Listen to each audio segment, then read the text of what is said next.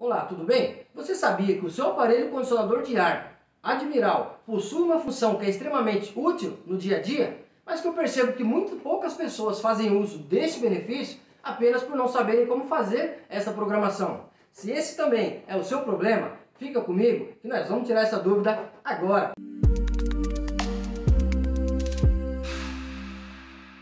Eu sou o Vanil Galvão e nesse vídeo nós vamos aprender como programar o timer on e o timer off no controle remoto do aparelho condicionador de ar Admiral. E se você tiver alguma dúvida sobre como usar esse controle remoto, clica no link que está aparecendo na sua tela de um vídeo onde eu explico como usar o controle e todas as funções que ele oferece. Muito simples fazer essa programação. Repare que nós temos aqui duas teclas que é somente para a programação do timer, tá? Timer on e timer off. Eu vou pressionar aqui a tecla timer on Repare que nós já entramos no menu aqui, olha, para programar para ele ligar automaticamente. Vou de novo, já entrei no menu. Eu quero que esse aparelho ligue daqui uma hora.